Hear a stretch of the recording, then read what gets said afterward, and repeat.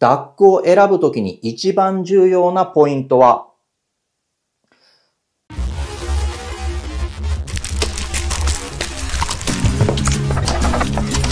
果実クラウドファンディングにてソーバー EP という音楽作品をバイナルとハイレゾでリリースすることができました。このクラファンのローンチ動画でレコードが聴けない方でもハイレゾのダウンロード版が付属するので大丈夫ですよと説明していたんですが、よく考えたらレコードだけじゃなくハイレゾの再生環境もないという方が結構いらっしゃることが分かりました。そこでこの動画ではハイレゾの再生環境を整えるためにどのような DAC オーディオインターフェースを選べばいいのか解説いたします。この動画に続けてハイレゾ向けのピーカーとかイヤフォンとか DAP とかの解説もして、まあ、3つか4つくらいの動画シリーズにします。気になった方は今すぐチャンネル登録をしてスタンバイをお願いいたします。まず DAC オーディオインターフェースって何って話なんですけれども、インターネットでハイレゾ音源を買って PC なり iPhone なりにダウンロードして、ただただ今まで通り再生させるだけでは、ハイレゾ本来の音質で再生させることができません。再生はできるんですよ。再生はできるんですけれども、ハイレゾのスペックをフルで活かした音を鳴らすことはできない。このハイレゾの音楽データっていうのは、例えば 96kHz とか 192kHz とかっていう風に、ヘルツでその凄さを表します。この数字がでかければでかいほど音質がすげえってことになります。ドラゴンボールの戦闘力みたいなもんだと思ってください。でも、普通の PC や iPhone っていうのはこれに対応していないことがほとんどで、だからハイレゾの 96kHz とか 192kHz とかっていうフォーマットに含まれているデータが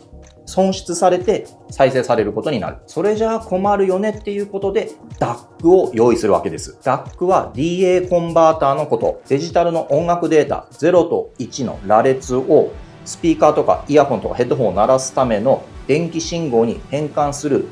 チップです。PC や iPhone にもこの DAC っていうチップは入っているんだけれども、それが 48kHz のデータにまでしか対応していないから、別で 96kHz とか 192kHz に対応した DAC を用意する必要があるよね。じゃあ、オーディオインターフェースは何かというと、DAC、デジタルからアナログの変換だけでなく、AD コンバータが内蔵されている機材のこと。これをゲットすると、PC とか iPhone の中のデータを高音質で再生できるっていうだけじゃなくて、マイクの音とかシンセサイザーをこう繋いだ音とかっていうのを PC の中で扱えるデータ0と1の羅列に変換することができる。音楽制作、いわゆる DTM をやる人が必ず持っているやつです。だからハイレゾをただただ聞きたいだけですっていう方が使うのだとしたら、DAC とオーディオインターフェースはまあ同じようなもんだと思って差し支えない。ちなみに私は様々々なメーカーのオーディオインターフェースを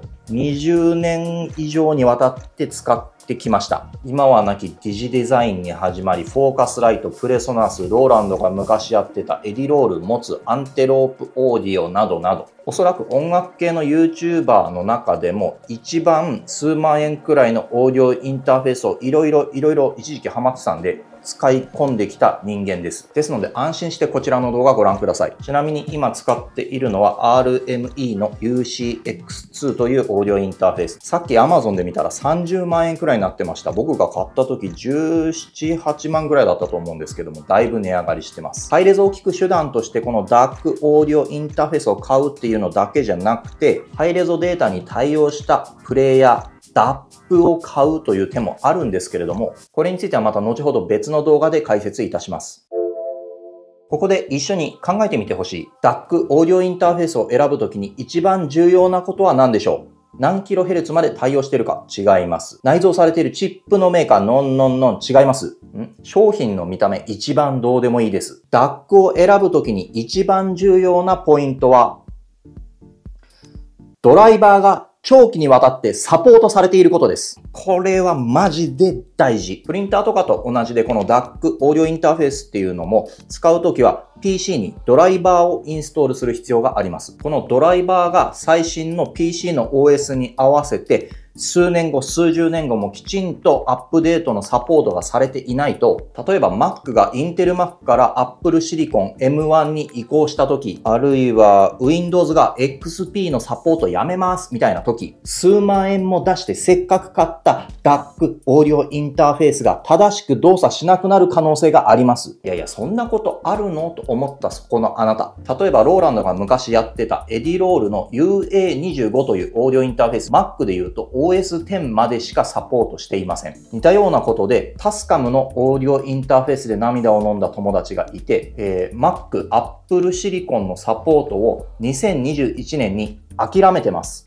ドライバーのサポートなんて数年経ったらやめるのがじゃあ普通なんじゃないの？そんなことはありません。こちらの RME というメーカーは一度リリースした製品はなるべく90%以上サポートを続ける体制をとっています。っていう風に同じ音楽楽器機材メーカーでも姿勢が全然違うんです。今のいくつかのメーカーで気づかれたかもしれないんですけれども意外と海外メーカーの方が国内の音楽楽器機材メーカーよりも熱心にサポートを続けてます。意外とタスカムもダメ、ローランドもダメ、フォステックスなんかもっとダメ。もう話の想像ついてると思うんですけれども、最近 Amazon とかで見かける中国製、中華と呼ばれる格安の DAC オーディオインターフェース。こういう新興メーカーっていうのは何せ新興なので、数年後、数十年後までサポートを続けているかどうかっていうのが未知数だし、なんなら数年後倒産している可能性さえある。で、この RME とかみたいにきちんと何年経ってもサポート頑張って続けますよって姿勢をとってるメーカーがあるんだからわざわざリスクを取ってそっちの中国製のどうなんだかわかんないものを買うリスクを取る理由がない。きちんとメーカーがユーザーのことを気遣ってドライバーのアップデートを続けてファームウェアのアップデートを続けてっていう姿勢をとってるメーカーの製品を選ぶ。これが一番大事です。まあ、納得いかない方もいるでしょう。最近の DAC オーディオインターフェースっていうのはクラスコンプライアントっていうものに対応していて、まあ、ドライバー入れなくてもとりあえずつなげば音が出るっていう作りになっているものが多い。だから仮にドライバーのサポートが終わっちゃったとしても、まあまあ使えるっていうこと多いんじゃないのと思ってる方いると思う。そんなあなたに伝えたい。私が以前、とある音楽雑誌で編集の仕事をしていた時、まあ、サンレゴなんですけれども、ちょいちょい面白い新製品がメーカからまあサンプルでポンって届くことがありました。で、ある時ですね、当時は珍しい USB でつなぐヘッドフォンっていうものが届いたことがあった。言ってしまえば DAC、チップを内蔵したヘッドフォンっていうこと。で、リリース前だったので、なんかメモ書きみたいな URL が書かれてて、これがまあドライバーのリンクなんだな。で、これを入れると使えるようになりますよっていうことで届いた。で、ドライバー入れて、ヘッドフォンのスイッチ入れて、こうやったら、プスンって使ってた iMac の電源が落ちまして、で、もう一回電源入れるじゃないですか、ポチ。そしたら、もう、ありえへんくらいの轟音が、この iMac の画面からベーって鳴り響きまして、隣で仕事していた加藤さんっていう、その人が、うわーってなって、もうびっくりするぐらい、もう、何、200人ぐらいいるフロアかな、に、もうその音、ブーってもう鳴り響いて、もうあっちの方にいる人も、な、なになに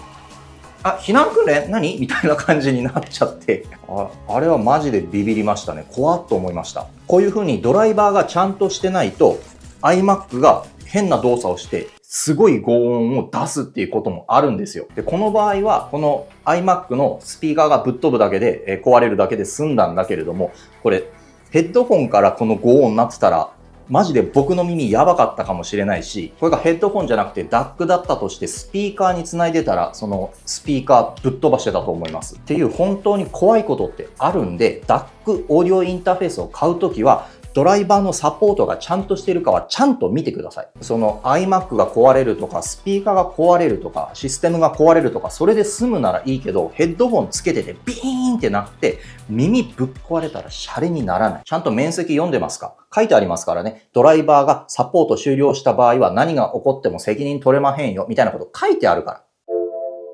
それではお待ちかね、おすすめの DAC オーディオインターフェースをご紹介します。お金がある人は、こちらの UCX2RME の製品、こちらの介護官、ベイビーフェイス、プロ、FS、こちらを買ってください。まあ、介護官と言いつつも音質はこれと同様にいいと考えて大丈夫。RME は一度リリースした製品は熱心にサポートを続けるっていう体制を一貫して貫いているし、何より宇多田ヒカルが使ってます。青木孝允も使ってます。ただこのベイビーフェイスプロ FS、14万円します。本当にいい音質でハイレゾを楽しみたいっていう方はぜひ頑張って買っていただきたい製品なんですが、まあ、ちょっと14万円はちょっと高いねと思った方も多いと思います。一気に値段を下げます。フォーカスライトスカーレットソロ第3世代、お値段が1.7万円くらい、だいぶ安くなりましたね。これはフォーカスライトのスカーレットの第2世代のまた別のやつなんだけど、えシリーズとしては同じものです。もうとりあえずハイレゾを鳴らしたいっていうだけであればもうこれで十分。このスカーレットソロ、ちゃんと24ビット 192kHz まで対応してます。フォーカスライトはイギリスでスタートした歴史ある実績もある音楽機材メーカーで、まあ、RME ほどではないですけれども、ちゃんと古いオーディオインターフェースのサポートを続けています。このスカーレットについても、ちゃんと第一世代のドライバーサポートしてます。で、この音量とかいろいろ入出力とかコントロールするコントロールソフトも RME のトータルミックスとだいぶ似てる使い勝手で、え使いやすい。何よりこのフォーカスライトっていうメーカーは製品保証が3年です。他のメーカー、RME も含めて製品保証って1年とか半年のものが多い中、フォーカスライトは3年。で、音質について言うとさすがに14万円とか30万円とかの RME に比べると、まあ、劣る気はするけれども、PC のオンボードの音よりは全然向上します。だいたい1万円から5万円くらいのレンジのオーディオインターフェースの音質同じです。そもそもオーディオインターフェースの音質って、えー、中に入ってるさっき言った DAC っていうチップの品質と、もう一つオペアンプっていうのが入ってるんだけど、それの組み合わせの品質でもうほぼほぼ決まると言っていい。で、この1万円から5万円ぐらいのレンジっていうのは、もう値段的にそのパーツの選択肢っていうのがほぼほぼ限られてくるんで、もうどのメーカーもほんのちょっとチューニングするくらいの感じで音質がどっかのメーカーだけ抜きに出てるってことはまあない。あえて言えば生配信とかをやっている方がよく使ってるヤマハのいつものあれ。あれは音質ゴミです。もう作りが悪すぎる。で、持つの M2 とかでもいいんだけど、あれは確か3万くらいするので、フォーカスライトのスカーレットソロの方が安い。なるべく安い、なるべく安心の DAC オーディオインターフェースを狙ってて、もうとりあえずハイレゾの音を鳴らしたいんですよ、それだけですよっていう方は、歴史も体力も資本もあるこのフォーカスライトのスカーレットのソロ、ジェネレーション3を買っておけば大丈夫。で、もっと安いのがいいっていう方は、このフォーカスライトの赤いやつをメルカリで探して買ってください。程度が良ければ、大概オーディオインターフェースっていうのはそうそう壊れるものじゃないんで大丈夫です。結論、14万円出せるのであれば RME。出せないのであれば1.7万円のフォーカスライトのスカーレットソロ。その1.7万円から14万円の間くらいでもうちょっといいやつないの？と思った方いると思うんですけれども、なくはない。え6万円から8万円くらいのレンジでもうちょっとだけ音のいいやつはなくはないんですけれども、純粋にハイレゾの音を聞くためにはちょっと余計な機能、プラグインとか、え豊富な入出力とか、そういうのがついてきちゃう。で、そのコストが入ってるって考えると、ちょっと無駄じゃないですか。リスニング用途にはちょっとだけ無駄な機能がついてきちゃう。まあだからそんな金があるんだったら、僕としてはスピーカーにお金をかけた方がいいと思います。というわけで、次回は多分、ハイレゾを再生させるのに最適なスピーカーについて解説をしたいと思います。お楽しみに。この動画が面白いと思われた方はぜひグッドボタンとチャンネル登録をよろしくお願いいたします。この動画がつまらないと思われた方は、普段は履かない真っ赤なパンツを履いて改めてこの動画を頭から見ていただくと、なんだか妙にテンションが上がって、さっきはつまらなかったはずのこの動画が、なんだか面白い。